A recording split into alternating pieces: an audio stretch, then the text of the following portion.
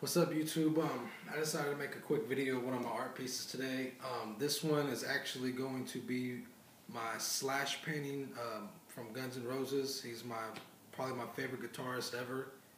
Um, and the, the thing about this one is it's actually the first uh, painting that I ever I've ever done.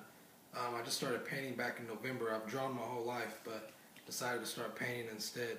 Well, at two, and um, this is the very first piece I did back in November, so um, hope you guys like it.